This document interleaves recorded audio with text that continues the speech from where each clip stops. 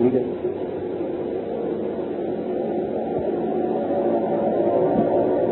أعوذ بالله من الشيطان الرجيم بسم الله الرحمن الرحيم عزیزان من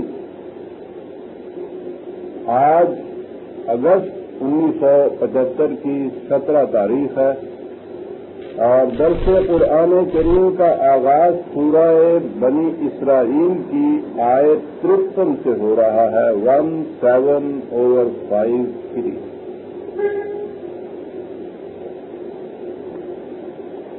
اس سورج میں اس سے پہلے آپ نے دیکھا ہوگا کہ بہت سی پرحکمت باتیں معاشرتی آئین و آداب و ضوابط کے متعلق چلی آ رہی تھی۔ اسی سلسلے میں ایک اور بنیادی بات کو یہاں بیان کیا گیا ہے۔ اور وہ یہ ہے کہ کل عبادی یقول اللہ کی سیا احسن بڑی جامع چیز ہے۔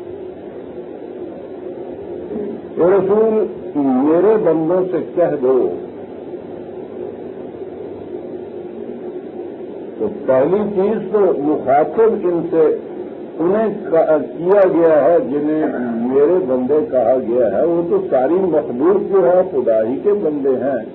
لیکن جب وہ اپنا عبد کہہ کے کسی کو پکارتا ہے،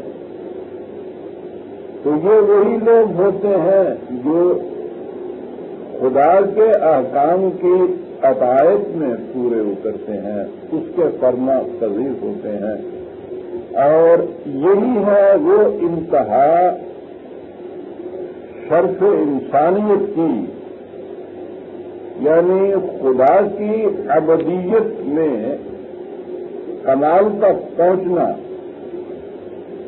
کہ جس کی وجہ سے قرآن کریم نے خود نبی اکم صلی اللہ علیہ وسلم کو اور اپنے رسولوں کو عبد کہہ کے پکارا ہے۔ تو گویا یہ سب سے بلند کر شرف انسانیت کا خطاب ہے۔ جو خدا کی طرف کا ہے خداوندی کی طرف سے عنایت ہوتا ہے، عبد ہونا۔ اور جو میں نے کہا کہ شرف انسانیت کی انتہا ہے، تو اس میں بھی ایک نقطہ مضمر ہے۔ اور وہ یہ کہ جب انسان صرف خدا کا عبد ہوتا ہے، تو پھر دنیا میں کسی اور کا وہ عبد ہوتا نہیں۔ غلامی کی ہر زنجیر کٹ جاتی ہے، خدا کا عبد ہونے کی بنا پر۔ ایک ہی کا عبد ہوتا ہے۔ وہ اسی لیے تو وہ انہیں اپنا عبد کہہ کے پکارتا ہے کہ میرے سوا یہ کسی اور کے اب عبد نہیں رہے۔ موت کا پیغام ہر نئے غلامی کے لیے جو قرآن سے متعلق کہا ہے اقبال نے تو وہ ہر نئے غلامی کی ابدیت سے آزاد ہو جاتا ہے۔ وہ انسان جو ایک خدا کا عبد بنتا ہے۔ جیسا کہ آپ کو معلوم ہی ہے ابدیت یا جسے عبادت کہا جاتا ہے، وہ ہے محکومیت اس کے معنی ہے پرستش، اس کے معنی نہیں۔ پرستش کا تصور تو مذہب کا دیا ہوا ہے۔ دین کا تصور تو محکومیت کا تصور ہے، عقائد کا تصور ہے، فرما پذیری کا تصور ہے۔ اور وہ کوئی خاص شعبہ نہیں جس کے اندر خدا کی یہ عبادت کی جائے۔ ہمارے ہاں تو جب یہ کہتے ہیں نا کہ بڑا عبادت گزار ہے تو آپ سمجھتے ہیں خاص تصور ذہن میں آتا ہے۔ ساری ساری رات عبادت میں گزار دیتا ہے۔ تو اب اس میں آپ دیکھیں گے کہ وہ کبھی کوئی نفل پڑھنے لگ جاتا ہے، کبھی تصویر کی گردش لگتا ہے، یہی دو تین چیزیں ہیں جسے ہم عبادت کہتے ہیں۔ یہ پرستش ہوتی ہے اور عبادت گاہ ہمارے ہاں پھر پرستش گاہ ہوئی یعنی ایک خاص مقام ہے جہاں پہ عبادت ہوتی ہے۔ اور وہی آپ نے وہاں وہ دعا مانگی اسلام بھیج کے اور وہ جوتا پہنا، اگر محفوظ ہے وہاں پہ اور وہ باہر نکلے تو عبادت تو ختم ہو گئی نا، عبادت گاہ میں۔ اب یہ باہر کی دنیا جو ہے، یہ تو عبادت گاہ نہیں ہے۔ اب یہاں جب باہر نکلے تو آپ پھر خدا کے عبد نہ رہے، ان کے اعتبار سے۔ اور جب اس ایک کے عبد نہ رہے تو پھر دنیا میں قدم قدم کے اوپر پھر مختلف خداؤں کی وبیت جو ہے، اس کی زنجیر کے حل کے آپ کی گردن میں ڈالنے شروع ہو گئے۔ خدا کی ابدیت کا معنی یہ ہے کہ دنیا میں ہر انسان کی ہر نئے غلامی سے وہ آزادی حاصل کر لیتا ہے۔ اس ایک آستھا کے اوپر سجدہ ریز ہونے سے دنیا کی بڑی سے بڑی طاقت سے سرفرازانہ کلندرانہ گزر جاتا ہے۔ یہ ایک سجدہ جسے تو گرا سمجھتا ہے۔ ہزار سجدے سے دیتا ہے آدمی کو نجات۔ ایک اللہ کا عبد ہو جانا وہ ساری دنیا کے اندر سرفرازیوں اور سر بلندیوں کا سزاوار قرار پا جاتا ہے۔ اور یہی وجہ ہے کہ اس نے خصوصیت سے جہاں کوئی بات کہی ہے، بڑے پیار و محبت سے تو عبادی کہہ کے پکارا ہے۔ اور وہ گرامی قدر ہستیاں جو انسانیت جو مراج کمال پہ پہنچی ہوئی تھی انہیں ہر رسول کو عبد کہا ہے۔ اور نبی اکم صلی اللہ علیہ وسلم کو بھی خاص طور سے عبد ہوں و رسول ہم دہراتے ہیں اس کو کلمہ شہادت کے عبد ہوں و رسول۔ تو یہ ابدیت تو بہت بڑا مقام ہے۔ کہا کہ میرے بندوں سے کہہ دو۔ میں کو بہت ہی بڑی ذمہ داری ہے، بہت ہی بڑی بات ہے کہ اس طرح خاص طور پہ یہ کہا ہے کہ میرے بندوں سے یہ کہہ دو۔ کیا بات کہہ دو؟ کہہ دو کہ آپ باتیں کیا کریں تو اب لفظ ہے یہاں احسن، بات کریں تو احسن کریں ہمیں۔ جس بات میں خوشی ہو، توازن ہو اعتدال ہو خوبصورتی ہو۔ مشکل یہ ہے کہ ہمارے ہاں باتوں کے لیے اردو زبان میں یہ لفظ نہیں استعمال ہوتا۔ حسین باتیں ہم نہیں کہتے۔ اصل میں دشواری اور ہے۔ اردو زبان جو ہمارے یہاں پاپولر ہوئی ہے، وہ ہوئی ہے غزل کی وجہ سے۔ اور غزل میں یہ الفاظ جو ہے نا حسن اور عشق اور اس قسم کے اور الفاظ، انہوں نے خاص معانی کا رنگ پہن رکھا ہوتا ہے۔ ہم جب حسین کہتے ہیں تو وہ اس معنی میں نہیں ہوتا کہ ہم اسے متوازن کہتے ہیں ایک چیز کو، اعتبار پہ کہتے ہیں ایک چیز کو۔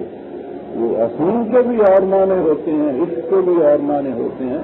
وہ تو خدا بھلا کرے اس اقبال کا تو اس نے جان چھڑائی اس قوم کی ان تصورات سے۔ اس نے اپنی شاعری میں ان الفاظ کو اور معانی پہنائے۔ اور کیونکہ وہ شاعری اتنی زیادہ بڑی اونچی ہے اور اتنی زیادہ چڑھاؤ ہے کہ چھا جانے والی، اس لیے یہ الفاظ اب دوسرے معانی میں استعمال ہونے لگ گئے۔ اور ان شعروں کو بھی ہم گھروں میں پڑھنے لگ گئے، ورنہ ہم اپنے شریف گھروں کے اندر، جوان بہو بیٹیوں کے سامنے کبھی عشق کا لفظ نہیں کہہ سکتے تھے۔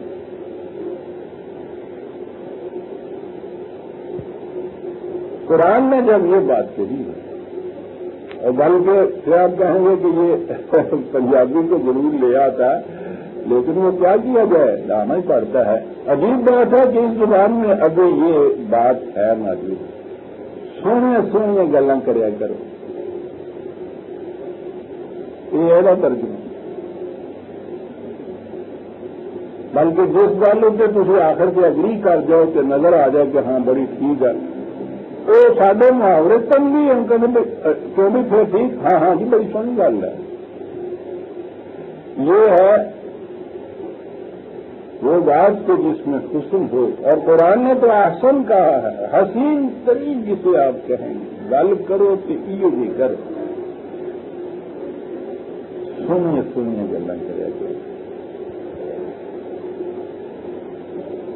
اگلے فکرے یعنی اگلے فکرے میں یہ بات کہہ دی ساتھ کی آیت میں تو کیسی باتیں نہ کیا کرو، وہ تو اخبار سے بات کو سمجھاتا ہے نا۔ یہ حسین باتیں اس میں گلا کون سی ہوں گی؟ وہ جس میں یہ نہ ہو، ان میں شاطانہ ینگ کو بہنا ہو تمہیں پتہ نہیں ہے کیا کام کرتا کیا ہے؟ بڑا عجیب لفظ ہے یہ۔ مزہ کے معنی ہوتا ہے سوئی چوٹ دینا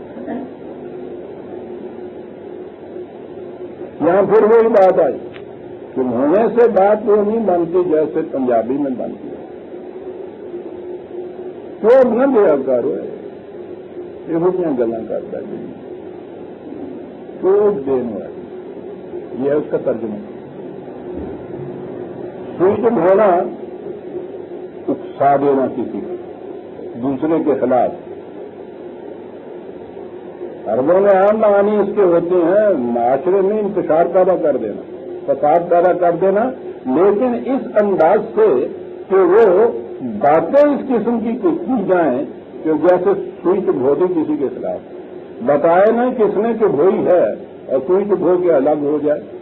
شیطان تو کہا ہی وہاں جاتا ہے نا، جہاں کوئی محسوس کہہ کر سامنے نہ ہو کہ ہونے والا۔ لیکن وہ سوئی بری طرح سے چپ جائے۔ اور پھر اگر غبارے میں سوئی چپ جائے تو کہا کہ یاد رکھو، یہ جو انسان کے ایسے جذبات جن کو تم اگر وہی الہی کے تابع نہ رکھو گے تو ان سے اس اس قسم کی کیفیت پیدا ہو جائے گی؟ کہ وہ بات چپ جانے والی ہو؟ تو گویا احسن بات وہ ہو کہ جو چبھے نہیں کسی ٹھیک ہے، باتیں ایسی بھی ہوتی ہیں جس میں دوسرے کی تردید بھی ہوتی ہے تغلیق بھی ہوتی ہے تصویر بھی ہوتی ہے۔ عدم موافقت بھی ہوتی ہے۔ یہ سب چیزیں ہیں۔ یہ سب کرو، لیکن بات کا انداز ایسے گفتگو تو شریف آنا چاہیے۔ انداز تو شریف آنا ہونا چاہیے۔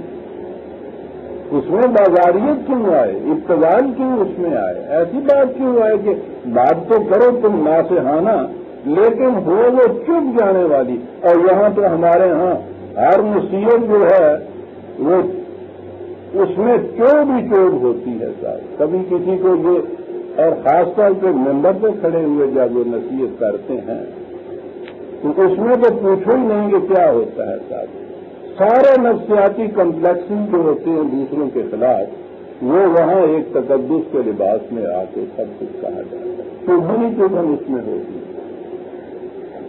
حالانکہ پھر بات آ گئی، نصیحت کی بات آ گئی۔ اربوں کے ہاں یہ جو نشہ ہے، نصیحت جسے آپ کہتے ہیں، وہ سوئی کو کہتے ہیں۔ لیکن صرف اس سوئی کو کہتے ہیں کہ جو کسی کے چاقے گرے بانس میں سلائی کر دے۔ اس میں رفو کر دے۔ کسی کے پھٹے ہوئے کپڑے کو سی دے یہ سی دینے والی جو ہے، سوئی، یہ ہے جسے نصیحت کہا جاتا ہے۔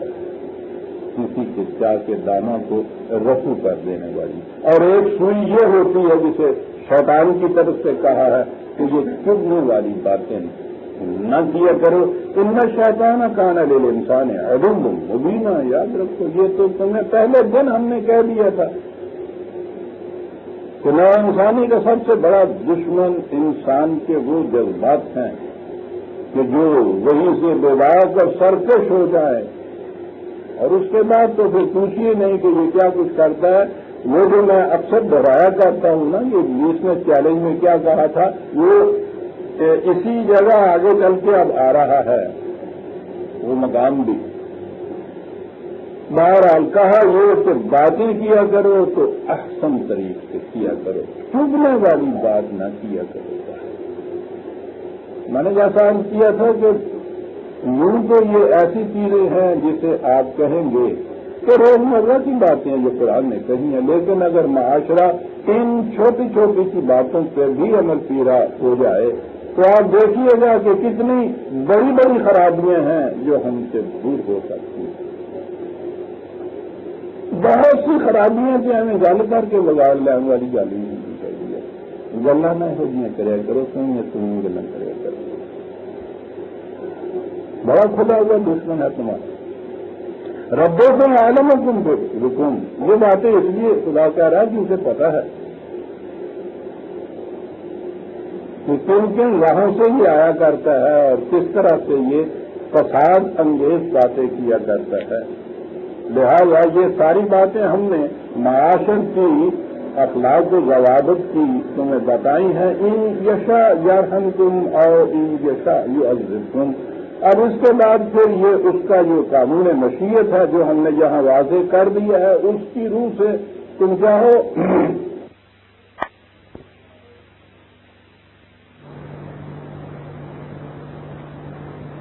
تو خدا تمہاری نشو و نما کا سامان کر دے گا، رحمت کا سامان کر دے گا۔ تمہارے پٹرولوں کے مرہم تسکین کی لگا دے گا۔ لطافت سے، نظافت سے تمہارے لیے سامان نشو و نما مہیا کر دے گا اور اگر یہ ضرورت نہیں ان کی خلاف ورزی کرو گے تو پھر لفظ جامع اس کے ہاں ہے آزاد کا۔ وہ قلبی اضطراب بھی ہے، معاشرے کی تباہی بھی ہے۔ ان تمام چیزوں کے اوپر یہ لفظ حاوی ہوتا ہے قرآن کریم کا۔ اور باقی ہے رسول اللہ صلی اللہ علیہ وسلم تو آپ سے یہ کہا گیا کہ یہ آپ جو باتیں پہنچاتے چلے جائیے۔ یہ پہنچانے کے بعد ہم نے یہ انسان کے اپنے اختیار و ارادے پہ چھوڑ دیا ہے۔ وہ چاہے انہیں قبول کر لے، چاہے ان سے انحراف در کے قبول کرے گا تو رحمت ملے گی، انحراف کرے گا برتے گا تو عذاب ملے گا۔ وما ارسل ماں کا علیہ وکیل ہے تمہیں ہم نے ان پہ داروغہ بنا کے نہیں بھیجا۔ کہ ہم سے ہاتھ میں لے کے تم ان کے پیچھے پڑے گا تمہارا کام بات کو پہنچا دینا ہے، سمجھا دینا ہے۔ قرآن کریم میں آپ دیکھیں گے کہ وہ انسان کے اختیار و ارادے کو کہیں سلب نہیں کرتا۔ وہ یہی تو امتیازی بات ہے حوالوں میں اور انسانوں میں کہ انہیں اختیار و ارادہ نہیں دیا گیا۔ ان کے اندر جبر کی لگانے ان کے اندر رکھ دی گئی ہیں، وہ اپنی فطرت کے جبلت کے خلاف کر نہیں سکتے۔ انسان کو اس کا اختیار دیا گیا ہے۔ بعد اب یہی چیز ہے کہ ہم نیک و بد حضور کو سمجھائے جائیں گے۔ وہ نیک و بد کا سمجھانا جو ہے، یہ خدا نے اپنے ذمے لیا جو رسولوں کی وساطت سے، رسالت کے بعد اس کی کتاب کی وساطت سے انسانوں کے سامنے آ گیا اور اس کے بعد انسانوں کو چھوڑ دیا کہ تمہارا جیت ہے، یہ کرو، ٹھیک ہے ٹھیک کرو۔ بچہ بالغ ہو گیا ہے۔ اب اسے مار مار کے آپ ایک راستے پہ نہیں لا سکتے۔ نیک و بد ہی سمجھا سکتے ہیں۔ اور یہ جو کہا رب الحم عالم حکم یہ پہلے کہا ہے کہ ہم جانتے ہیں انسانی زندگی کے اندر کیا کیا چیزیں ہیں جو فساد کا موجود بنتی ہیں، کون کون سی چیزیں ہیں جن سے زندگی حسین ہو جاتی ہے، خوبصورت ہو جاتی ہے۔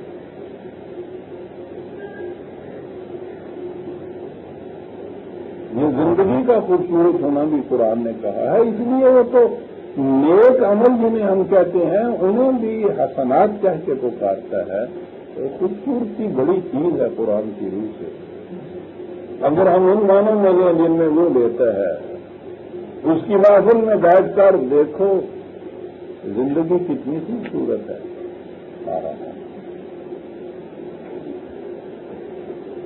مربوں کا عالم و زمان سے سماوات والارض وہ اتنا ہی نہیں کہ ہم تمہارے ہی معاشرے کے متعلق جانتے ہیں کہ کن باتوں سے فساد مچے گا کون سی باتیں حسین اور سن میں ہوں گلا ہم تو ارب و سماوات میں ہر ایک کے متعلق جانتے ہیں۔ ذرے ذرے کے دل کا ہماری نگاہ ہوتی ہے۔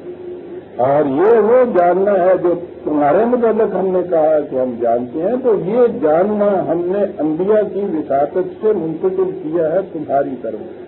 اپنے علم کو ہم نے منتقل کیا ہے انسانوں کی طرف۔ تو ہم جانتے ہیں کہ کن باتوں سے تمہارے اندر پرساد برتا ہوگا۔ تو یہ جاننا ہماری اپنی ذات تک ہی نہیں رہے گا۔ ہم علم الہی میں تمہیں شریک کرنا چاہتے ہیں۔ بڑی بات ہے یہ۔ اور یہ شریک کیا جائے گا وہی کے ذریعے سے جو انبیاء کرام کی وساطت سے انسانوں تک پہنچی ہے۔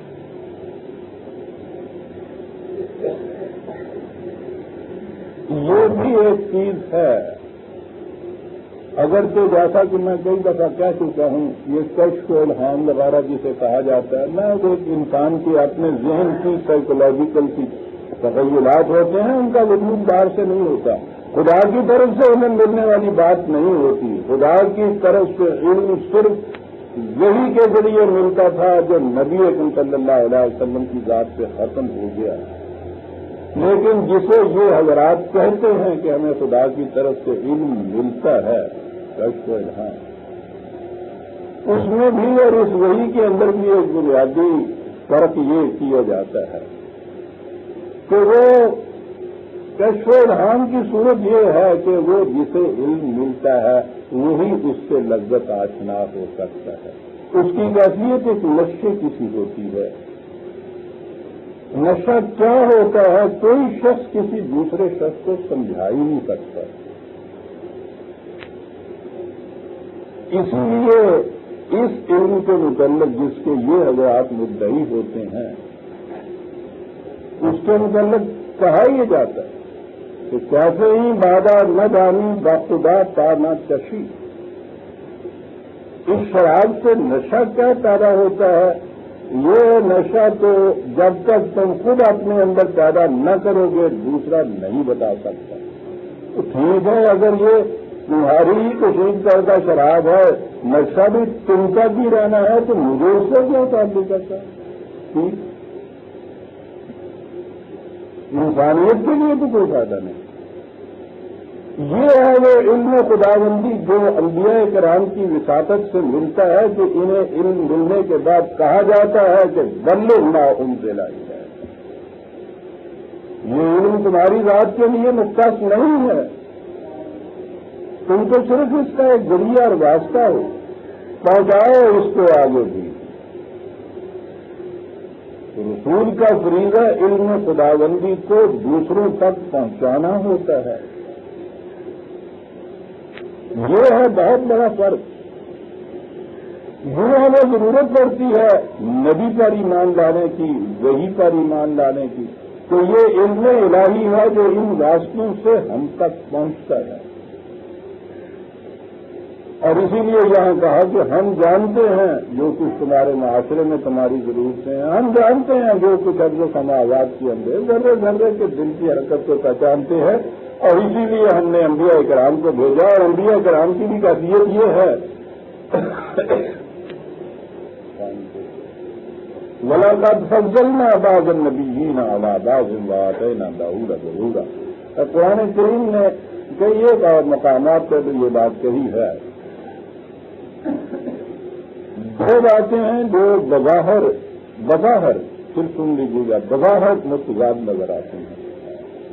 ایک تو یہ کہ لا نفرت دانا حجم مضبوط ہمارا ایمان ہے۔ قرآن کریم نے یہ کہا ہے کہ ہم نے دنیا کے ہر قوم میں رسول بھیجے، ہر ملک میں رسول بھیجے۔ ان میں سے بعض کا قرآن نے کہا ہے کہ ہم نے تصریح ذکر کر دیا ہے۔ اور باقی جو ہیں ان کا ذکر نہیں کیا۔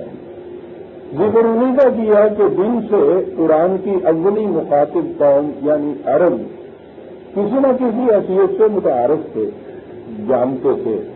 اور رام اعلیٰ یہ وہی انبیاء ہو سکتے ہیں جو عرب اور اس کے گرد و نواز کے ملکوں میں یا ان قوموں میں جنہیں آپ سینٹک قومیں کہتے ہیں سامع نسل یہ یہودی وغیرہ۔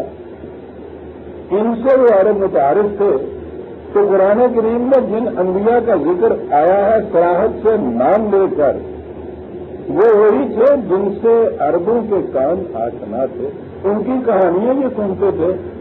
جن کاموں کی طرف وہ آئے تھے، یہ صبح شام جن راستوں میں سفر کرتے تھے، وہاں ان کی بستیوں کے سنگراس ہوتے تھے۔ یہ قوم آج کے، یہ قوم سود کے سمود کے، یہ قوم لوٹ کے۔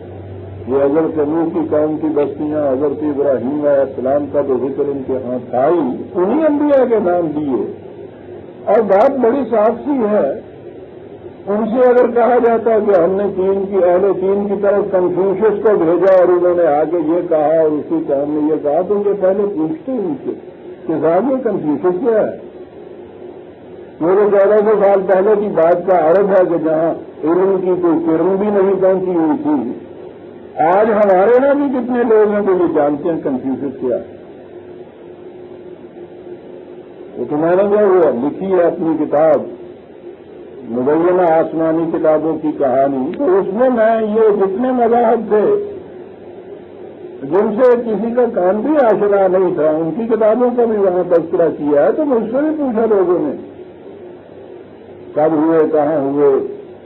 کیا تعارف تھا ان کا؟ تو اربوں کو اگر کہا جاتا کہ تاؤ بھی تھا اور کنفیوژ بھی تھا، وہ اسی جھگڑے میں پڑ جاتے کہ نہیں صاحب، ایسے ہی آپ اپنے کو جگر کی باتیں کرتے ہیں۔ وہ یہ کیا تھا؟ ہم نے کبھی نہ سنا، نہ وزول کیا، کسی نے ہم سے ذکر تک نہیں کیا ان کا۔ تو قرآن تو مناظرے کی کتاب نہیں ہے۔ اس میں تو وہ بات پہنچانی تھی جو قانون کے راستے دل تک پہنچ جاتی، اس لیے تو بلیغ ہے یہ۔ پہنچ جانے والی بات اتر جانے والی چیز۔ تو ایسی چیزیں ہی نہیں کہی گئی کہ جن کے متعلق ابتدا نہیں وہ جھگڑا کھڑا کر دیتے کتاب ہے بھی یا نہیں ہے۔ تو اس لیے قرآن کریم نے انہیں انبیاء کرام کا ذکر کیا ہے، جن سے وہ لوگ اچھی طرح سے متعارف تھے۔ اس لیے کسی نے پوچھا ہی نہیں ان میں سے کسی کے متعلق بھی کہ آپ یہ کیا کہتے ہیں، یہ کہاں بھی یہ کام کیا، ان کا انجام ہوا۔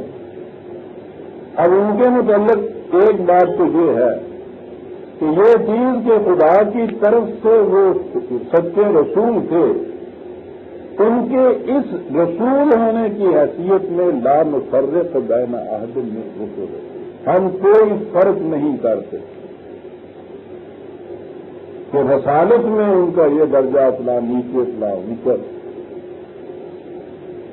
یعنی اب تو ہماری یہ صورت ہے نا کہ ہم نے خود ہی اپنے ذہن کے اندر یہ فیصلے کر لیے ہوئے ہیں وہ کچھ معذ اللہ معذ اللہ، کچھ گھٹیا درجے کے، کچھ بڑھیا درجے کے۔ لیکن ایک اور چیز ہے جس میں مدارس بھی قرآن گناتا ہے۔ یہاں تو کہتا ہے کہ لال فرے تو جانا حدم میں ذکر ان کے رسول ہونا جو ہے، اس میں ہم کوئی فرق نہیں کرتے ایک میں اور دوسرے میں۔ لیکن قدل بعد النبی نہ آباد جہاں تک ان کے دائرہ تبلیغ، اثر و مسود اس احاطہ تبدیل کا تعلق ہے، اس میں فرق تھا۔ کوئی رسول ایک بستی میں آیا، ایک خرابی تھی اس بستی کی اتنا سا ہی اس کا پیغام تھا۔ وہ پیغام اس نے آ کے دیا۔ بستی تک محدود رہی بات۔ اس کے بعد وہ چلا گیا۔ اور ایک اور رسول آیا اگر موسا علیہ السلام صاحب گرد شریف وہ اتنی بڑی آویزش ہو رہی ہے اسلام جیسی قوم کے ساتھ۔ یہ بھی خدا کا ایک رسول تھا۔ میں بنی اسرائیل کے اندر حضرت سلیمان اور داود علیہ السلام بھی آئے ہیں۔ اتنی بڑی مملکت کو آج تک شوقت سلیمانی اور سطوت داودی گرد نسل ہو گئی ہے تاریخ کے اندر۔ انہیں میں حضرت ابراہیم علیہ السلام بھی آئے۔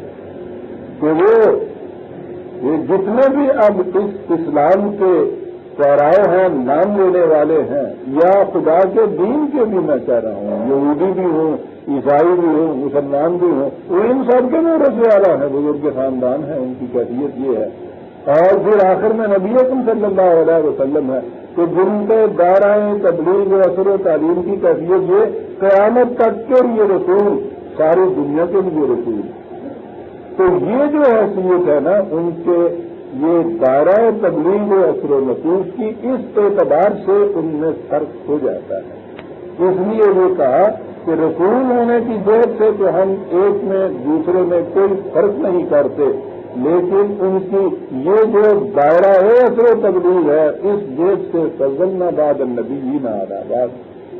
ان میں تفضیل ہے نسل ہوں تم باہر کو دیکھو۔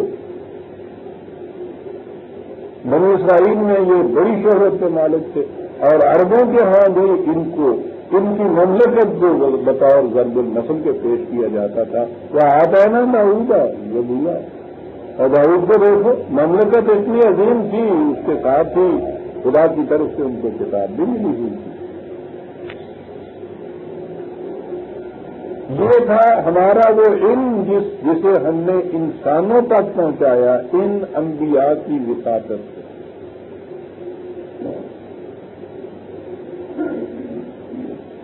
یہ جو علم و خداوندی دیا گیا ہے، اس میں آکام اور ہدایات تو کتنی تفصیل سے کیوں نہ ہوں؟ بنیاد تو صرف ایک ہی تھی ایک خدا کو صاحب اقتدار ماننا تمام قوتوں کا مرکز اسے قرار دینا اور جنہیں آگے یہ قوتیں، یہ اختیارات حاصل ہوں، ان کے متعلق یہ چیز کہ یہ خدا ہی کے عطا کردہ ہیں، اس کی طرف سے ملی ہوئی ہے اپنی نہیں ہے اب بنیادی چیز یہی ہے، اسی کا ہی کہتے ہیں۔ کہا پولیس الزین جانتم من دون ہی فلاح الدون کشف برل انتم بلا تحویلا۔ اور خدا کے علاوہ جن کو تم یہ سمجھتے ہو کہ یہ تمہاری حاضر روائی مشکل کشائی کر سکتے ہیں، مرادیں بچ سکتے ہیں، نفع نقصان پہنچا سکتے ہیں۔ کسی سے ڈرتے ہو کہ نقصان نہ پہنچا دے۔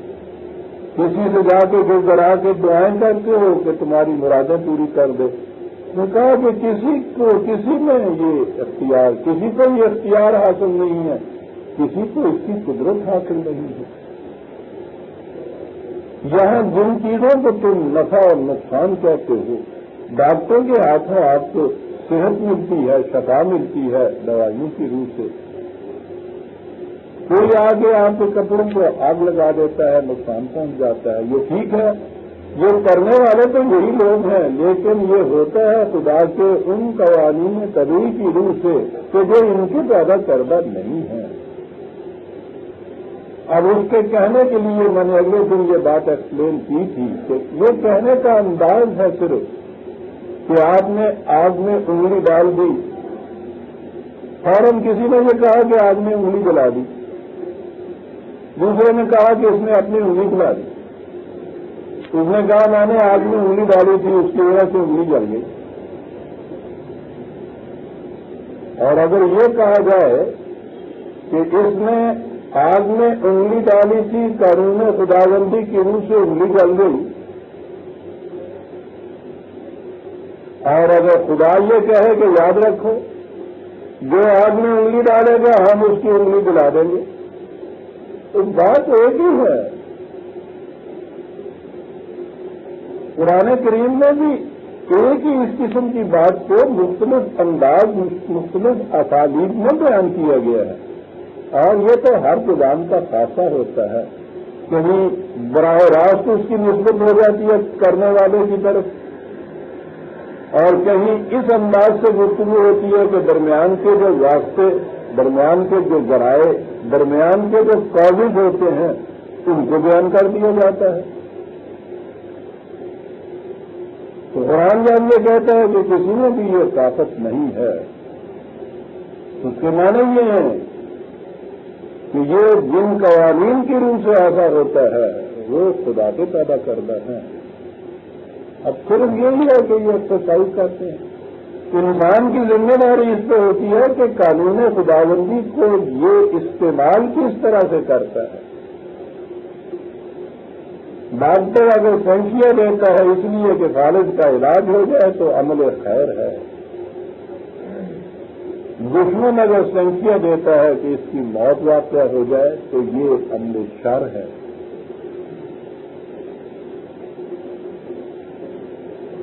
تو یہ سنکھیا کے اندر یہ دونوں خاصیتیں رکھ دی گئی ہیں۔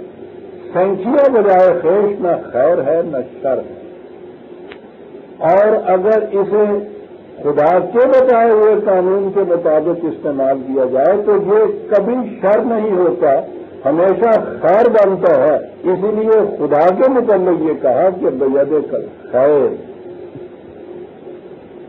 تیرے ہاتھ میں تو دیکھیے خیری خیر تھی۔ یہ تو انسانوں نے اس کا غلط استعمال کیا یعنی تیرے بتائے ہوئے طریق کے خلاف استعمال کیا، شر بن گیا۔ اسی لیے جو آپ کو دعا سکھائی گئی ہے، آخری صورتوں میں، اعوذ برب کل فلق من شر ما خلق۔ ماں خلق سے بچنے کی بات نہیں کی گئی کہ تو نے جو کچھ پیدا کیا ہے، اس سے ہم کو محفوظ رکھ۔ ماں خلق کا جو استعمال جس سے شر پیدا ہوتا ہے، اس سے محفوظ رکھ۔ ہم حفاظت چاہتے ہیں۔ سنکھیے کے اس استعمال سے جس سے موت واقع ہو جاتی ہے۔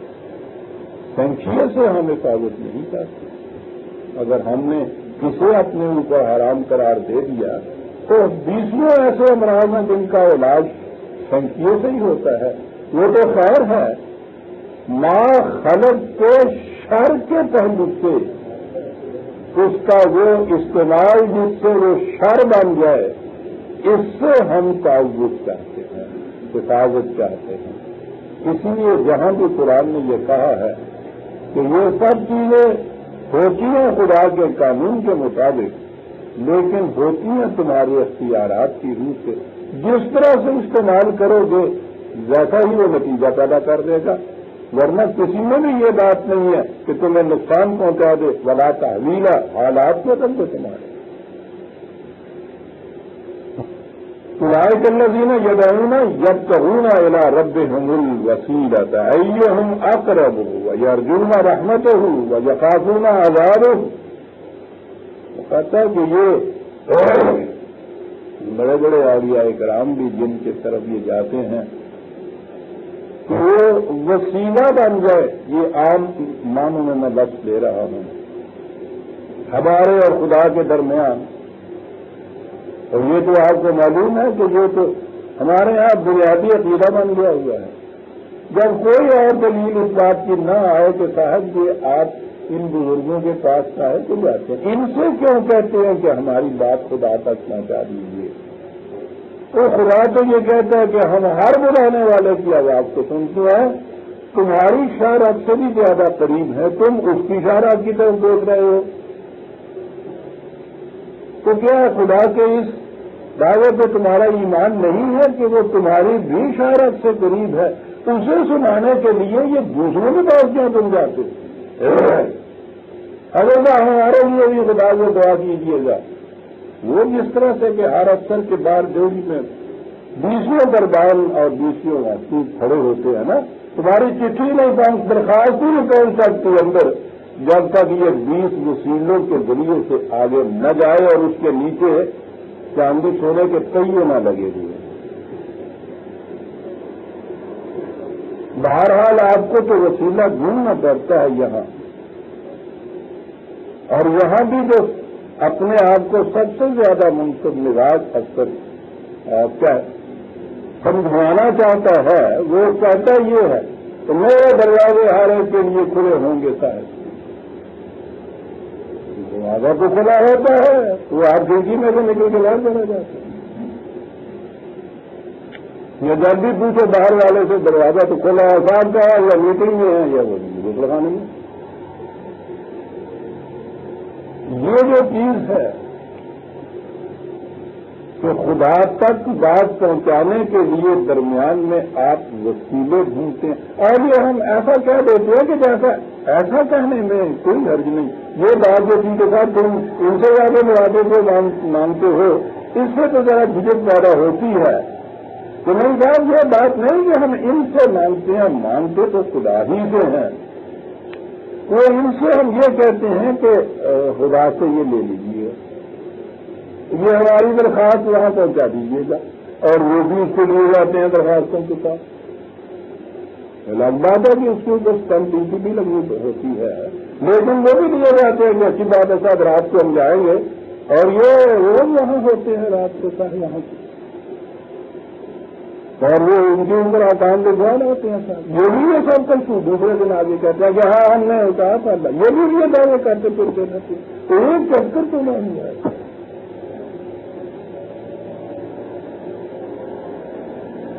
عجیب انداز میں قرآن سمجھا اگر جنہیں یہ وسیلہ بناتے ہیں کہ خدا تک یہ بات جو ہے یہ پہنچائیں ان سے بھی جب یہ پوچھو، حضرت صاحب سے کہ صاحب، آپ اتنی مشقتیں اٹھا رہے ہیں، ریاستیں کر رہے ہیں، آپ بھی اتنی عبادت کرتے ہیں، وہ تو پہلے یہ بتاتے ہیں کہ ساری رات ہم سب کھڑے رہتے ہیں۔ اور یہ کھڑے کمرے میں ہی نہیں رہتے ہیں کہ وہاں باہر جا کے دریائے راوی میں، سردیوں کی راتوں میں تازہ کمر پانی میں کھڑے ہو کر یہ باتیں کرتے ہیں سب۔ کہ یہ آپ کا ہے کہ یہ کے ساتھ ہم قرب خدا بندی سے ڈھونڈتے قرآن کہتا ہے یعنی ان کے الفاظ ان کے منہ پہ دے مارتا، عجیب انداز ہے قرآن کا۔ کہتے جنہیں یہ کہتے ہیں کہ ہم نے خدا میں وسیلہ بنے۔ یہ بات کہنے کے علاوہ ان سے گفتگو کیجیے تو وہ خود یہ کہیں گے کہ ہم خدا کا قرب ڈھونڈنے کے لیے، اس کا مقرر بننے کے لیے ہم خود یہ کچھ کرتے رہتے ہیں۔ سر تو یہ تو خود خدا کا قرب ڈھونڈ کے دے رہے ہیں اور تم ان کے وسیلے سے خدا تک بات پہنچا رہے ہو، وہ تو تلاش کر رہے ہیں قرب خدا بندی مقرر بننے کے لیے یہ ساری ریاستیں کی جا رہی ہے، یہ ساری مشقتیں اٹھائی جا رہی ہیں۔ اور ان میں سے ہر شخص یہ کہے گا جنہیں آپ حضرت کی کہتے ہیں۔ کہ گرد الہی کے لیے یہ ہم سب کچھ کرتے ہیں سر وہ کہتا ہے کہ جب یہ بھی قرب الہی ڈھونڈ رہے ہیں، تو تم بھی براہ راست قرب الہی ڈھونڈو۔ وہ انسان پہنچ کے کیوں یہ سب کچھ کرتے ہو؟ اور میں پھر کرنے کی یہ جو چیز ہے جو قرآن نے جو کہا ہے اور قانون نکالی ہے کس طریقے پکارو، میں پکار کا جواب دوں گا۔ بہت بڑی چیز ہے یہ تو کہیں گئی ہے۔ اور اسی کے سارے اعتراضات ہوتے ہیں۔ کہ صاحب، ہم تو پکار پکار کے تھک گئے۔ ہمیں تو جواب نہیں ملتا۔ اسی لیے وہ ان دکانوں کی طرف جاتے ہیں۔ وہ ڈاکخانے چالی اس لیے رہیں گے، کسی کسی کی کسی براہ راست نہیں کی وہ سمجھتا یہ ہے۔ کہ ہم نے تو بکار بکار کے دیکھ لیا، نہیں سنتا۔ وہ دعویٰ کرتے ہیں کہ ٹھیک ہے، ہماری سنتا ہے، تمہاری نہیں سنتا۔ وہ یہ کہہ رہا ہے عجیب دعوت ابا ہے زیادہ جب بھی کوئی پکارتا ہے پکار کا جواب دیتے ہیں بڑی بات ہے، ابھی آدمی مظاہر ہمارے تجربے کے خلاف جاتی ہے سب جواب نہیں دیتے یہ کیا چیز ہے؟ وہی بات ہے جو میں بار بار کہتا ہوں۔ تو خدا کا اور ہمارا تعلق اس کے کتاب کے ذریعے سے ہے۔ اس میں جو کلام اللہ کہتا ہے، خدا کی باتیں کہتا ہے۔ تو جو بھی آپ پوچھنا چاہتے ہیں کسی بات میں، اس کو آواز دیتے ہیں کہ یہاں میں کیا کروں؟ ایسی صورت ہو گئی ہے۔ یا ایک مشکل آ گئی ہے، اس مشکل میں میں کیا کروں؟ یہی چیز ہے نا دعا کے معنی مانگنا تو نہیں، اس کے معنی تو آپ بلانا ہے۔ تو جب بھی آپ کہیں راستہ گم کرتے ہیں، راہ چلنے والے کو آواز دے کے پوچھتے ہیں کہ بھائی صاحب جاؤں کدھر تو میں، راستہ کون سا صحیح ہے؟ یہ ہوتا ہے دعا جسے آپ کہتے ہیں، بلاتے ہیں۔ تو کہتے ہیں، ٹھیک ہے، جب بھی آپ کسی ایسے کو کے عالم میں دوراہے کے دوراہے پہ کھڑے ہو جائیں، معلوم نہ ہو آپ کو کہ کدھر کو جاؤں میں، کیا کروں میں؟ اس وقت تم پکارتے ہوں کہ میں کیا کروں؟ تم پکارو، میری کتاب جواب دے گی کہ یہ کرو کیا؟ تو میں نے تو پہلے ہی ہر تمہارے سوال کا جواب اس کے اندر لکھ دیا گیا ہے۔ پکارو صرف ہمیں آؤ اس کتاب کی طرف۔ اور تم دیکھو کہ تمہاری ہر پکار کا جواب اس میں ملتا ہے یا نہیں۔ یہ ہے اس کے معنی۔ یہ انفرادی طور پر اس کو پکارنا، انفرادی طور پر اس کو اکو کرنا، کہ وہ وہ تمہیں بتائے گا صاحب، تم سے بات کرے گا، تمہیں جواب دے گا، نہیں ملتا تو پھر صاحب سے جواب دے گا صاحب۔ اور وہ دعویٰ کرتے ہیں کہ صاحب ہمیں ملتا ہے جواب وہاں سے۔ یہ ساری چیزیں علیمان مان اس لیے ہے کہ ہم نے قرآن کی صحیح پوزیشن جو ہے، وہ ہماری نگاہوں میں رہی نہیں۔ ہے خدا اور بندے کے درمیان تعلق کا یہی ایک ذریعہ ہے۔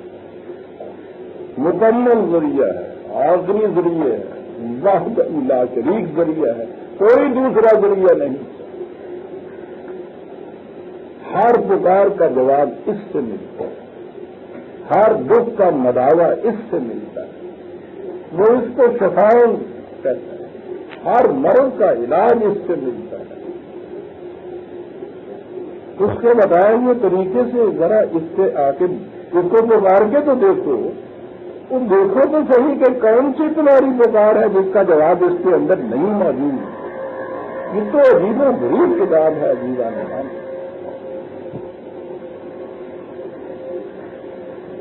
کہا کہ جن کو تم خدا کے علاوہ جا کے بلاتے ہو کہ ہماری یہ مرادیں پوری کر دو۔ اسی میں بھی یہ اقتدار اور قوت نہیں ہے کہ ہمارے قوانین کے خلاف کسی کو نقصان پہنچا دے یا کسی کو کوئی فائدہ دے دے۔ ان کی تو اپنی کا بھی یہ ہے جیسا کہ تم ان کی زبان سے سن رہے ہو۔ کہ صاحب ہم بھی خدا سے مصیبتیں بڑی ہوئی ہے صاحب اطلاع میں گرفتار ہے۔ خدا آزمائش میں ہماری کرتا رہتا تھا مصیب کو وہ مصیب سے پڑی ہوئی کرتا خود خدا سے یہ ڈرتے رہتے ہیں فائد جتنا آزاد عرب کا کھانا موجود اور واقعی اس کی طرف سے جو یہ گرفت آتی ہے، اس کے آکام کے خلاف چل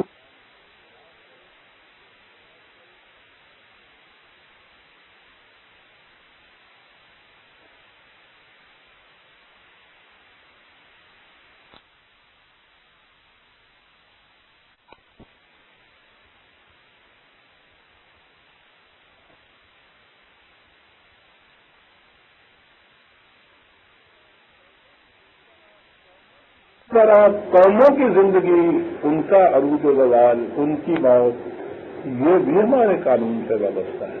اب یہاں یہ کہا گیا کہ وہ ان دن کریت اللہ نہنو بولے پورا قبل یوم قیامت وہ مسجد ہوا آزاد الشدید کہا یہ ہے کہ تاریخ کے اوراد سے پوچھو اب یہاں اگر انہی الفاظ کو لیا جائے گا تو اس میں تو یہ ہوگا کہ کوئی کام بھی ایسی نہیں کہ جسے تباہ نہ کر دیا گیا، برباد نہ کر دیا گیا۔ یہ جو ہے قبلہ یوم القیامت کی آمد کے معنی میں نے عرض کیا تھا کہ وہ آخرت کے معنی میں لے لیجیے یا وہ وہ انقلاب عظیم جو آخری مرتبہ نبی اکم صلی اللہ علیہ وسلم کے ہاتھوں ہوا۔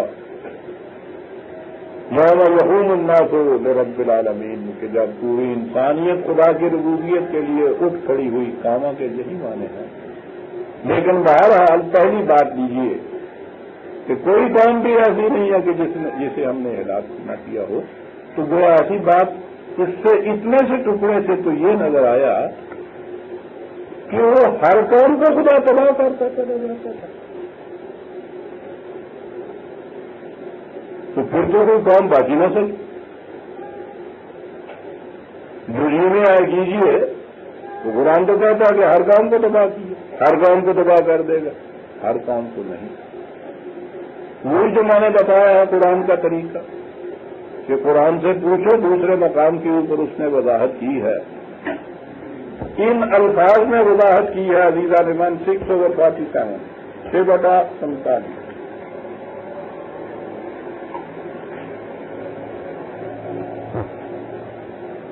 یہاں امن قریتن اللہ نہن مولے ہوگا کوئی کام بھی نہیں تھی پھر تباہ نہ ہوئی۔ اور وہاں ہے حل یہ کو القوم الظالمون۔ ہے یاد رکھو، تباہ صرف وہ قوم ہوا کرتی ہے جو ظلم پہ اتر آیا کرتی ہے۔ آپ نے دیکھا کہ پہلی آیت اکیلی اگر دی جائے تو اس سے کتنا غلط مفہوم ذہن میں یہ آتا ہے۔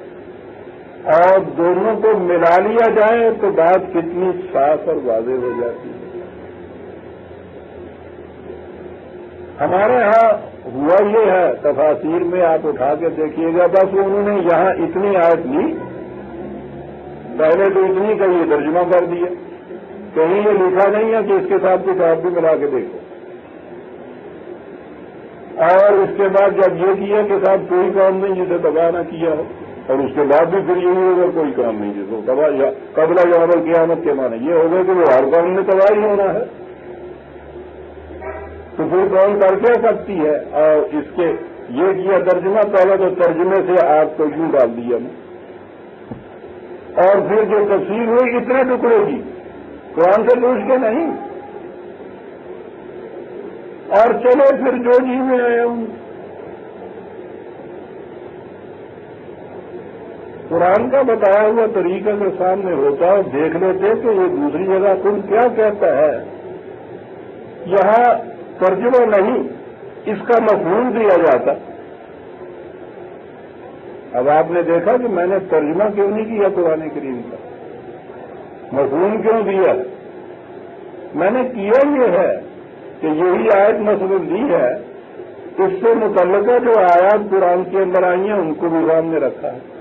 ان سب کو ملا کے دیکھا ہے کہ اس کا مفہوم کیا ہے۔ وہ مفہوم دیا ہے، ان آیات کا حوالہ دے دیا ہے۔ کہ اب انہیں لیجیے ان آیات قرآن کو۔ اور اس کے بعد دیکھیے، اس آیت کا مفہوم یہ بنے گا۔ یہ ہے طریقہ عزیزہ نے من قرآن سمجھنے کا قرآن تو خالی ترجموں سے نہیں سمجھ میں آتا۔ یہ جتنے عام طور پہ بردشتہ ہوئے ہوئے نظر آتے ہیں آپ کو۔ وہ ان خالی ترجموں کے روح سے۔ اور پھر اگر تفصیلوں کے روح سے چلیے، وہ تو پوچھو ہی نہ۔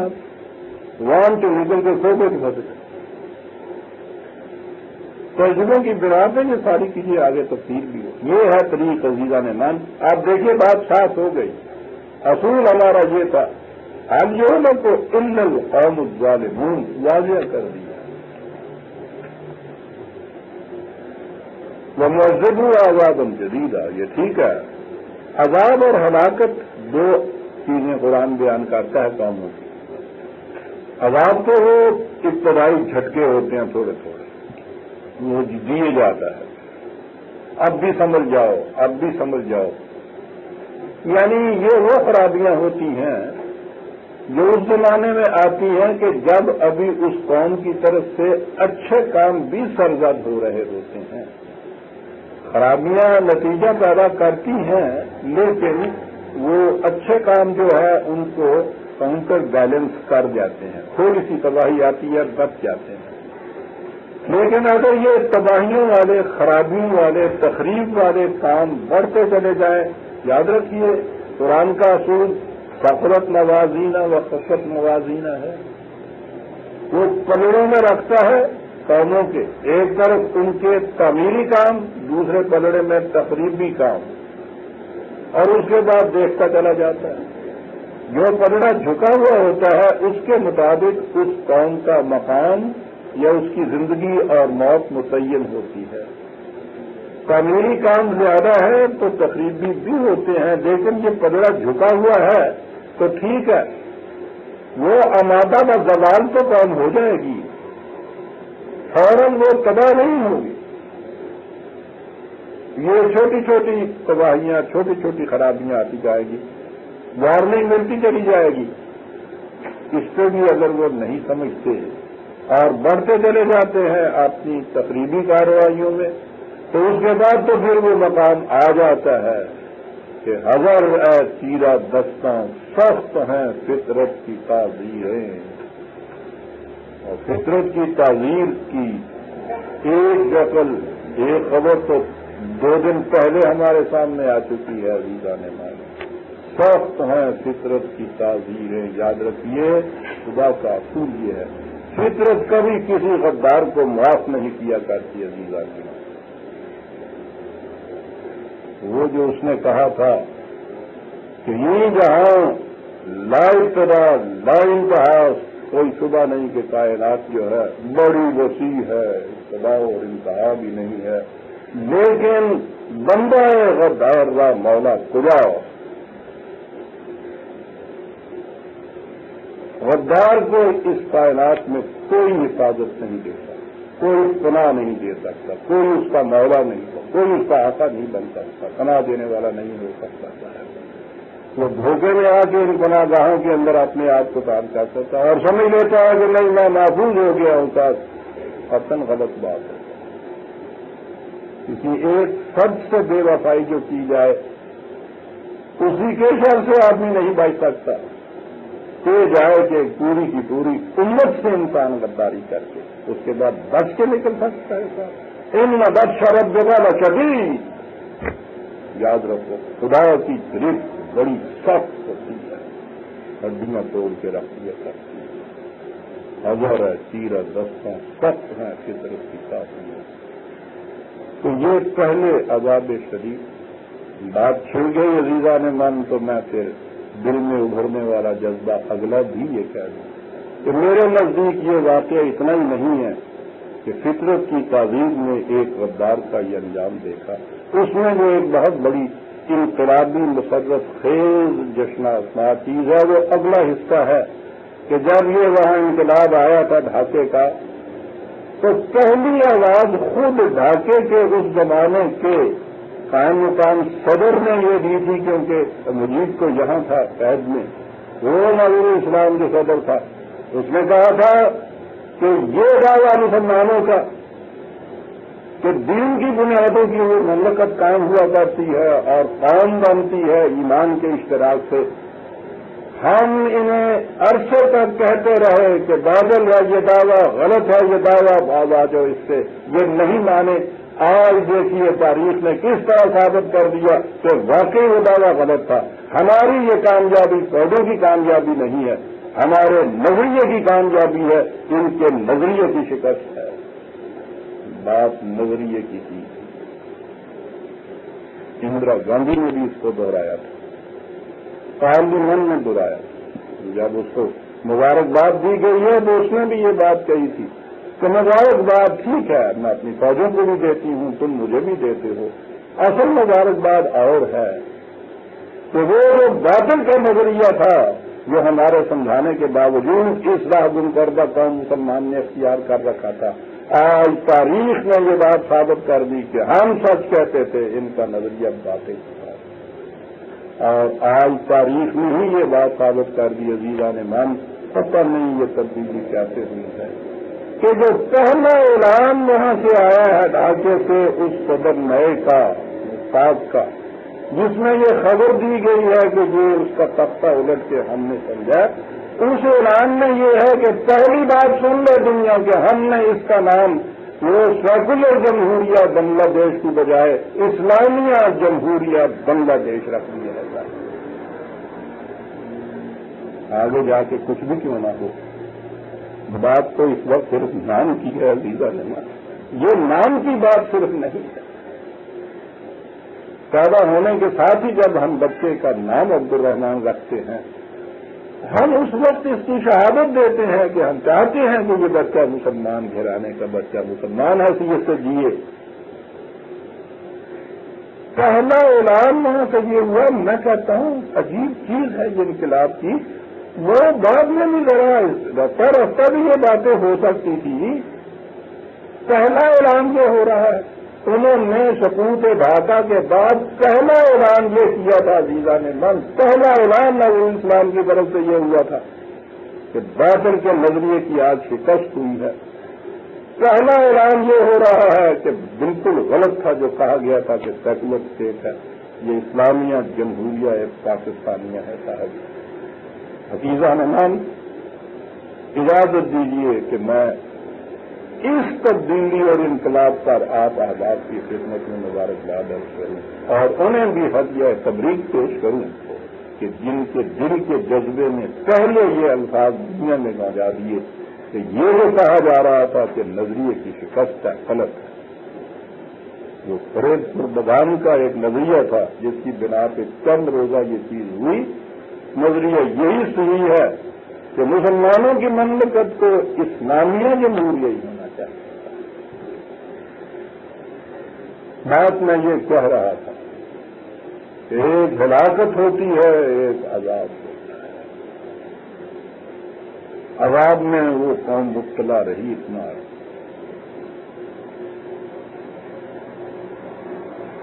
غنیمت ہے کہ ہلاکت کی آخری منزل پہ نہیں پہنچی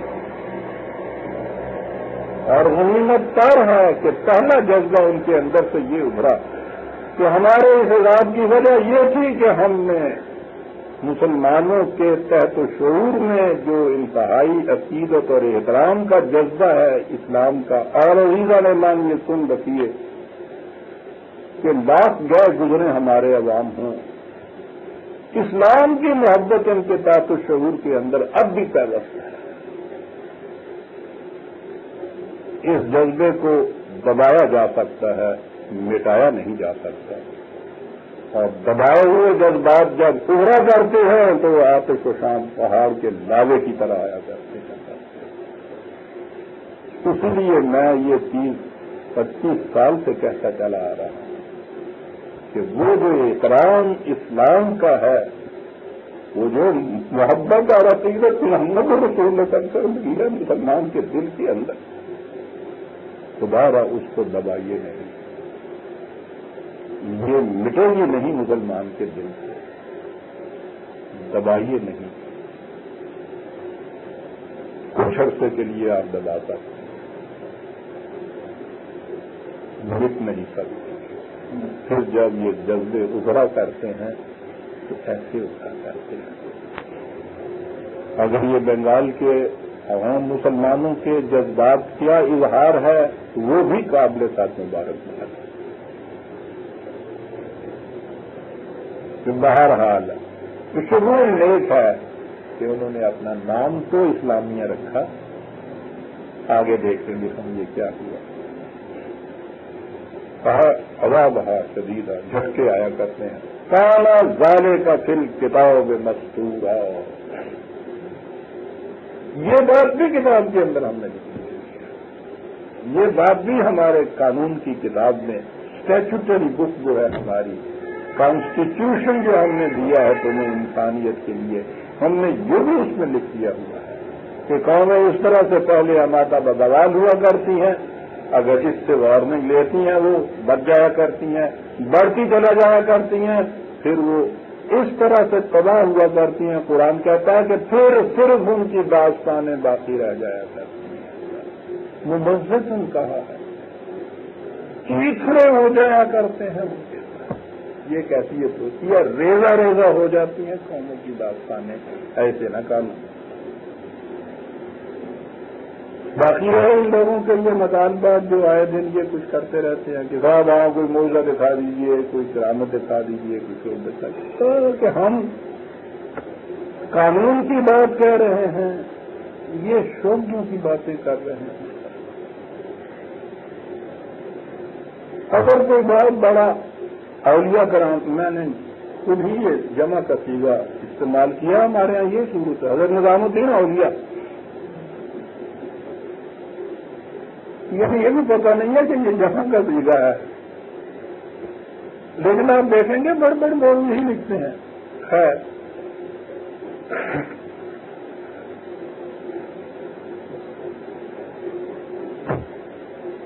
فرض کرو کہ یہ انبیاء کا بات گزر گیا۔ اب ان کی جگہ یہی کہہ رہے ہیں نا کہ یہ ہیں۔ جو موجے دکھاتے تھے، یہ کرامتے دکھاتے ہیں۔ سوال یہ ہے کہ یہ جتنے بھی آپ کے ہاں کے اولیاء کرام بزرگ ہیں، جن کے طرف آپ کہتے ہیں کرامتے دکھاتے ہیں، اگر یہ کوئی کرامت اپنے ہاں دکھا دیں تو کیا خیال ہے؟ یہ ڈوبنے والی قوم بچ جائے گی ان کی اس کرامت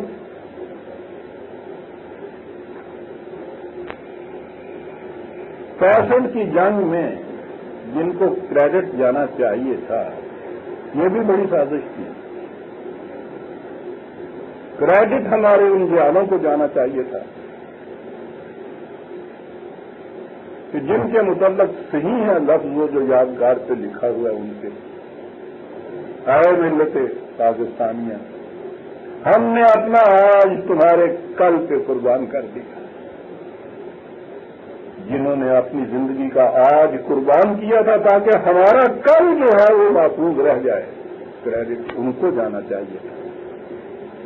لیکن یہ سازش فوج کا احترام قوم کے دل میں نہ پیدا ہو جائے، ان خیالوں کا نہ ہو جائے۔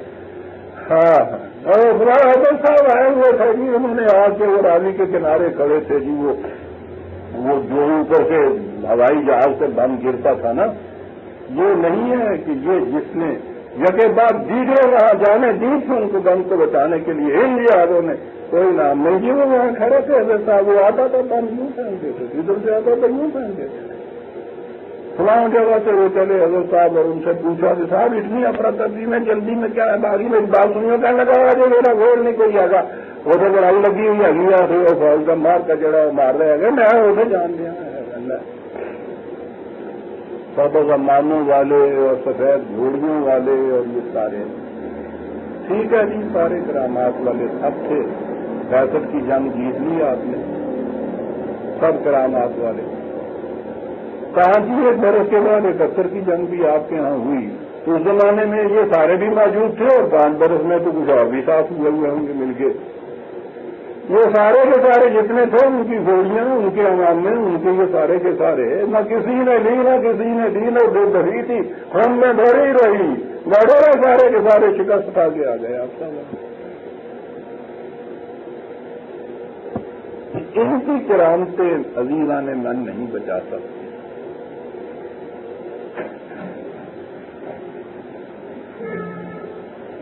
اور کرامتیں ہوتی۔ کرامت دکھائی تھی صلاح الدین ایوبی نے۔ کہا یہ جاتا ہے کہ یہ ریشمی کپڑا جو ہے تلوار اس کو نہیں کاٹ سکتا۔ رچرڈ نے کہلا کے بھیجا تھا۔ اس نے یہ کہا تھا کہ میری تلوار کے سامنے کوئی چیز بس بچے گی نہیں ریچرڈ سن لو۔ تو یوں ہی اس نے سنزن یہ بات کہی تھی کہ جاؤ یہ رومال لے جاؤ۔ وہ ریشم کا تھا۔ کہو بچ سکتی ہیں یہ چیزیں جو ہیں ہمارے ساتھ ہیں۔ اور آپ حیران ہوں گے ریچرڈ کی شمشیر زمین، کہ اس نے رومال کو پھینکا اور اس نے تلوار چلائی اور اس کے دو ٹکڑے کر دیے۔ ہاں ریچرڈ سے کہو یہ صلاح الدین ایوبی کی تلوار ہے، تمہاری تلوار نہیں ہے۔ یہ زیر دفتر کے نیچے تمہارے پہنے ہوئے ریشم کے کپڑوں سے لے کے کلب تک چیر کے رکھ دے گی۔ یہ تھی کرام تین سو سال تک کی لڑائیاں ان کی ساتھ ایک صاحب ایک کرامت شمشیر بدست آتا ہے۔ یہ کرام سے دکھاتے ہیں۔ یہ جو چیز تھی، یہاں بھی یہ صورت تھی۔ کرام سے مانگنے والے، مول میں مانگنے یہ کہا کہ وہ نہ منانا ان مرسلہ دل آیا تھے ان ان کا ذبح بحل اولین یہاں پھر عام ترجمے کی غلطی غلط فہمی پیدا کر دیتی ہے۔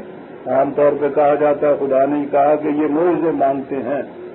کہا کہ وہ ٹھیک ہے موزے ہم دے سکتے تھے، لیکن ہم نہیں دینا چاہتے کیونکہ ہم نے دیکھا کہ ان سے کچھ فائدہ نہیں ہے۔ ناز اللہ ناز اللہ تو پہلے بھی دکھائے تھے تو یہ لوگ کون سے ایمان لائے تھے؟ ارے یہ آپ کو پہلے پتا نہیں تھا کہ یہ موجودوں سے ایمان نہیں لانے تو دکھائی گئے تھے۔ باتیں یوں نہیں۔ یہ انداز اور ہوتا ہے اسلوب و بیان۔ اس کے معنی یہ ہوتے ہیں کہ سوال ہی نہیں ہے کہ یہ جو اس وقت مطالبہ کر رہے ہیں، ان کا یہ بھی مطالبہ پورا کر دیا جائے گا تو پھر یہی مان لے آئیں گے۔ دوسری جگہ قرآن کریم میں یہ ہے۔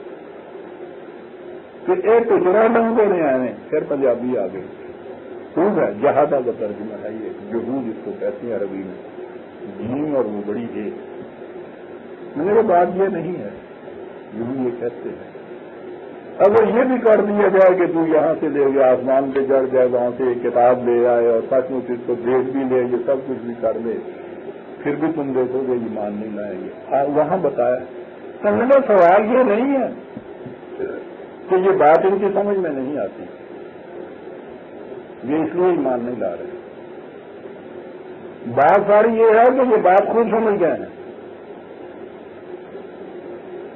اور سمجھے یہ گئے ہیں کہ اگر یہ نظام قائم ہو گیا جس کی طرف یہ دعوت دیتا ہے، تو جس قدر ہمیں یہ مفادات حاصل ہے اور یہ غصب و سلب و نحب و ایکسپلائٹیشن اور یہ جھوٹی عزتیں کعبے کی تولیت قریش کے تجارت کے قافلے جہاں سے وہاں تک ان کے گلے میں ایک رسی سی باندھ دی کوئی نہیں ان کی طرف دیکھ سکتا۔ انہیں پتا تھا کہ اس نظام کے تابع یہ ساری جھوٹی چیزیں چھن جائیں گی۔ قرآن کہتا بات خوب سمجھے ہوئے ہیں۔ اب یہ چیزیں جو ہیں یہ سب کچھ رہے یہ تو اتنا ہی کہتے ہیں نا کہ صاحب ایک باغ لگا ہوا ہونا چاہیے، اس میں ایک پیڑ لگا ہونا چاہیے، تم کہو پیڑ کے اندر ایک تالا آ جانا چاہیے۔ یہ اتنا کہتے ہیں کہتے ہیں اتنی بات ہی نہیں ہے۔ اگر تو ان کے سامنے یہاں سیدھا آسمان پہ چڑھ جائے اور وہاں سے ایک لکھی لکھائی ہوئی کتاب لائے اور یہ اس کو دیکھ بھی رہے دو محسوس کر کے کہ ہاں صاحب، واقعی لکھی لکھائی کتاب خدا کی طرف سے آسمان سے لے کے دوسرے تو تم دیکھو گے اس کے بعد بھی نہیں ماننی لائیں اس لیے کہ یہ اس بات کو سمجھ گئے ہیں کہ یہ جو انقلاب لانا چاہتا ہے، اس میں ان کا ہے کیا ہو یہ ہمارے کہ یہ باتیں مشکل کیا ہیں خدا کے لیے، جو تم یہ کہہ رہے ہیں۔ لیکن ان کی تہذیب کا جذبہ مرکہ کچھ اور ہے۔ یہ یہ نہیں ہے، یہ جو کہتے ہیں۔ اور یہ ہے وہ چیز قوم فرعون کے قصے میں قرآن نے یہ بتائی کہ حقیقت ان کے سامنے آ چکی تھی، صداقت آ چکی تھی۔ قرآن کے الفاظ یہ ہے کہ دل کے اندر ان کو یقین ہو گیا تھا کہ یہ بات ٹھیک کہتا لیکن اگر وہ ان تقریرہ جو تھا، ان کا کنڈار نفس جو ان کا تھا، وہ نہیں آمادہ ہونے دیتا تھا ان ساتھ ماننے کی وہ ان کی اتنی بڑی کبریائی، اتنی بڑی فرودیت اتنی بڑی مملکت جو چھن رہی تھی۔ اور پھر وہی جس کو کندار نسلی اس نے کہا ہے، یہ نہیں آنے دیتی تھی۔ تو بہت سی سچائیاں ایسی ہیں عزیزہ نے من کہ جن کا اعتراض تو آدمی دل کے اندر کر لیتا ہے۔ وہ اس قسم کے جذبات ہوتے ہیں جو اس کو اس پہ آمادہ نہیں ہونے دیتے کہ وہ انہیں تسلیم کر لیں تو کہا بات تو ساری اصل میں یہ ہے۔ اب ان کے سامنے کل کی بات ہے۔ یہ خود جانتے ہیں کہ قوم سمود کے ساتھ مثلاً کیا ہوا تھا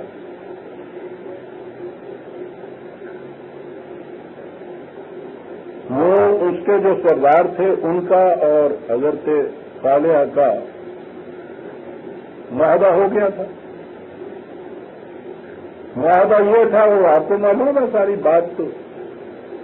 اس زمانے میں یہ مویشی پالنا، یہ معیشت کا ذریعہ ہوا کرتا تھا چراگاہیں جو تھیں، وہ ہوتا تھا سب سے بڑا ذریعہ۔ بڑے بڑے سردار طاقتور جو تھے، انہوں نے چشموں پہ چراگاہوں پہ اپنا قبضہ جما رکھا تھا۔ وہاں کے غریبوں، کمزوروں کے مویشی معروم رہ جاتے تھے۔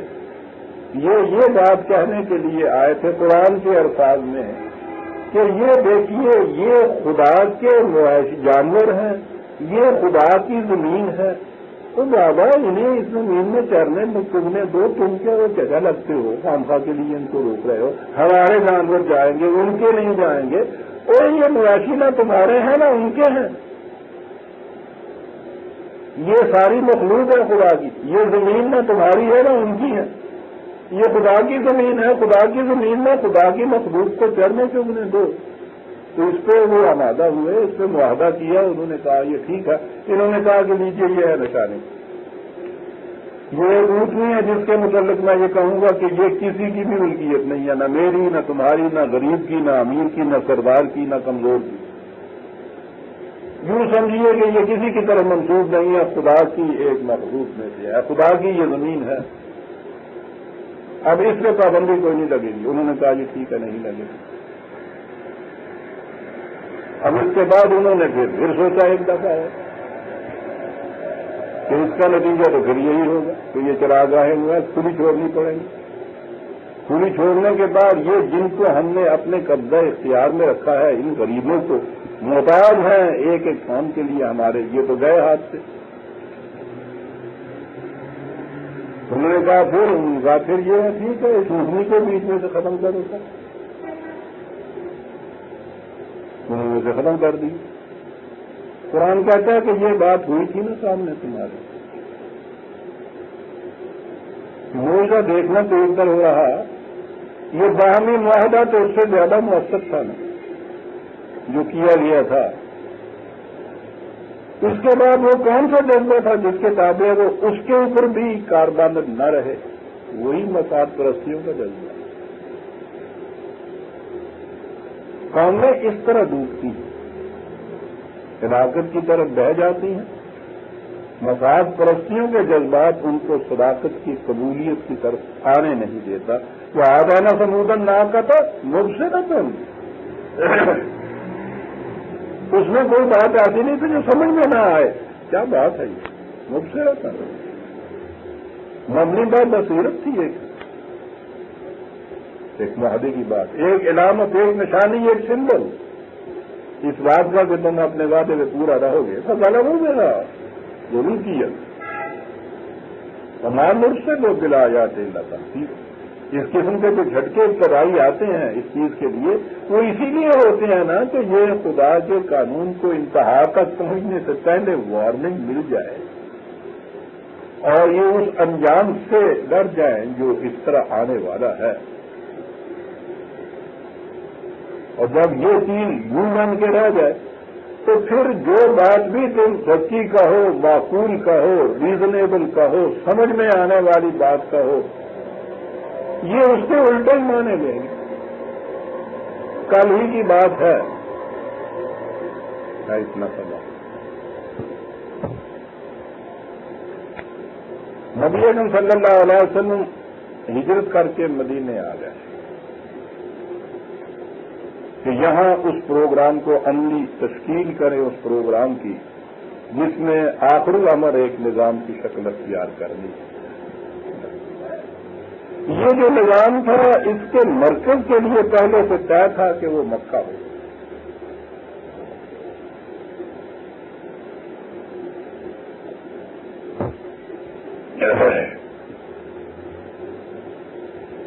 اس لیے کہ وہ اس سے پیشتر عالمگیر شہرت اختیار کر چکا تھا مکہ، کہ خدا اور اس کے انبیاء کی طرف سے جو تعلیم آتی ہے، اس کا مرکز اسے بننا ہے۔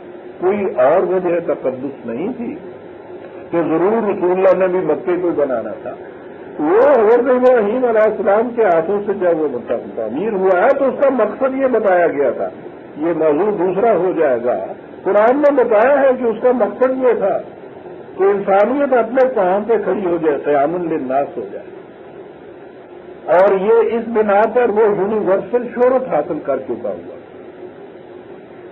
اس لیے ذہن میں یہی تھا کہ مکے کو ہی مرکز بنایا جائے گا اس نظام کا۔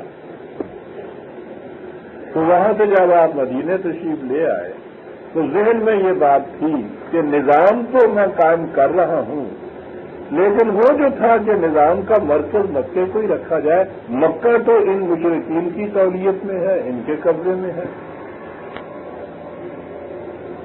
دوسرے پارے کے اندر ہے، قرآن نے کہا ہے، خدا نے کہا ہے کہ ہم دیکھ رہے ہیں کہ تو بار بار آسمان کی طرف تکتا ہے اور تیرے سینے میں یہ حسین آرزو مچلتی ہے کہ بارے الہ، میرے نظام کا مرکز جسے بننا ہے، وہ تو مخالفین کے قبضے میں ہے۔ کیا اس کی تولیت ہمیں ملے گی؟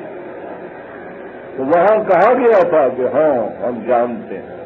تمہارے اس جذبے کو، اس آرزو کو جانتے ہیں ہم۔ اور ہم سمجھتے ہیں کہ وہی ہونا چاہیے، اسی کو مرکز رہنا چاہیے اور یہ ہو کے رہے گا۔ تو یہ آرزویں تھیں جو دل کے اندر مچلتی جو جو دن گزرتے چلے جاتے تھے، یہ آرزو پختہ کار ہوتی جاتی تھی۔ اور پھر قرآن میں تو یہ بھی ہے، رسول اللہ صلی اللہ علیہ وسلم نے یہ کہا کہ یا اللہ، اب تو زندگی آخری مرحلے میں پہنچ گئی ہے، پہنچ رہی ہے۔ کیا میرے مقدر میں یہ ساری تگ و تازی ہوگی اور وہ جو میرے ذہن میں میری انتہائی آرزو ہے کہ اس نظام کا مرکز بھی ہماری تعویل میں رہے، یا وہ پوری نہیں ہوگی تو وہاں تو یہ کہہ دیا گیا؟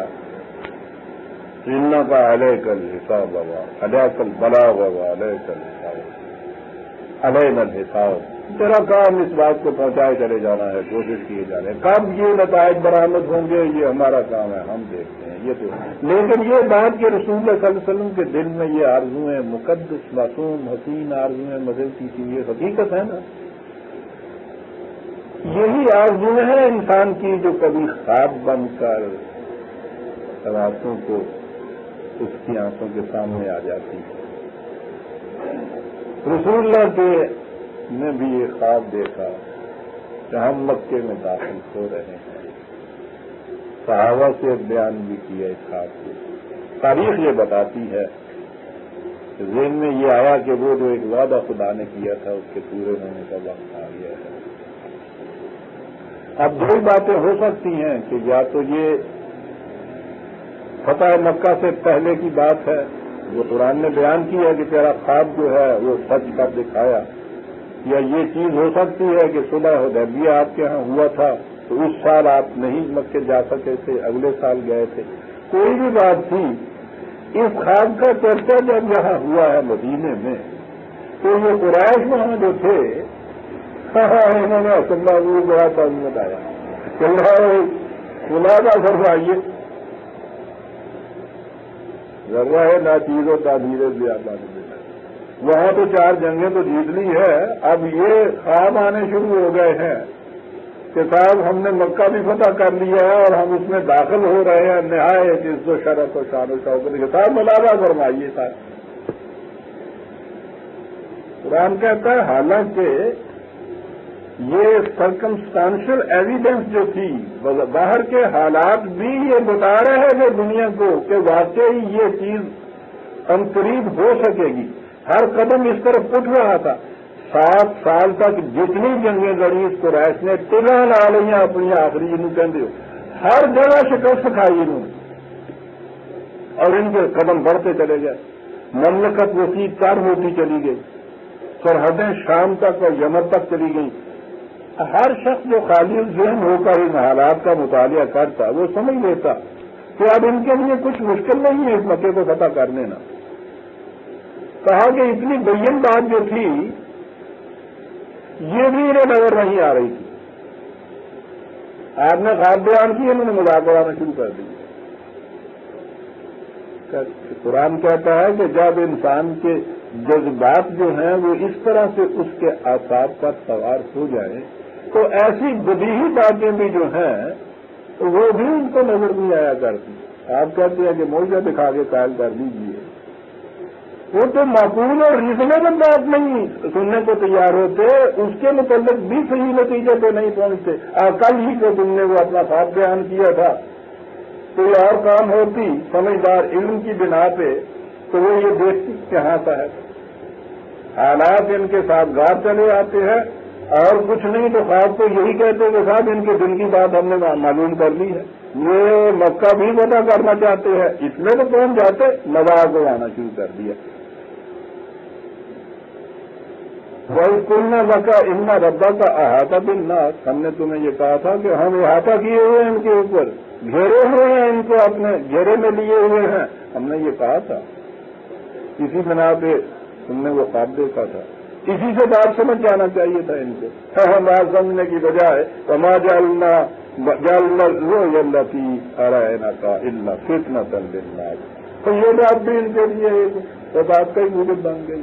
شرارت کا ہی موجود بن گئی، مذاق کا موجود بن گئی۔ پھر اس کے ساتھ ہی ہم نے یہ بھی کہا تھا کہ ان سے کہہ دو کہ اب تو عزت اور شرف کے ساتھ آ سکتے ہیں اس دین کے اندر۔ کل کو اگر انہوں نے شکست کھائی اور کاب و زنجیر آئے تمہارے سامنے، بڑی ذلت کی بات۔ تو یہ جانی تو ہے ہاتھ سے وہ عزت سے کیوں نہ ہاتھ سے دور تو کوئی بات اس میں وجہ تبدیل نہیں ہوگی۔ خود کہہ دو کہ ہاں سر، ٹھیک ہے۔ آئیے۔ ہم دیتے ہیں۔ نہ لائیے اسلام، زمینوں کی چیز سے رہیے زمین تو نہ بوجھیے لیکن اگر انہوں نے یہی کچھ کیا تو پھر وہ جو قرآن، وہ جہنم کی تصویر کھینچتا ہے۔ کہنے لگے کہ پھر اس جہنم کے اندر وہ جو اس کا انداز ہے تمثیلی پینے کو یہ ملے گا، کھانے کو یہ ملے گا۔ کہا کہ وہ غلامی اور معصومی اور قیدیوں کے کھانے۔ کہا ہے اس کے متعلق یہ کہ نہ نگلا جائے، نہ اگلا جائے۔ جہنم کا کھانا یہ کہا ہے۔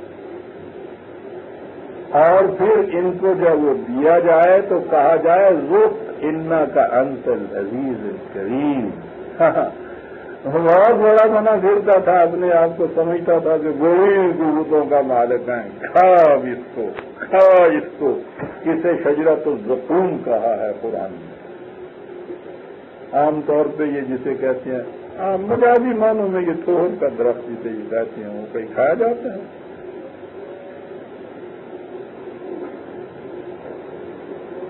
لیکن عربوں کے ہاں وہ وہ ایسی روٹی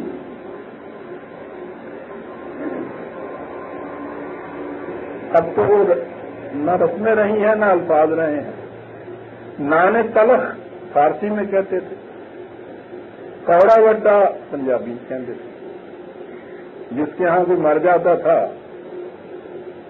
میت والے گھر میں جو روٹی بھیجی جاتی تھی وہ کوڑا وڈا کہنا کڑوی روٹی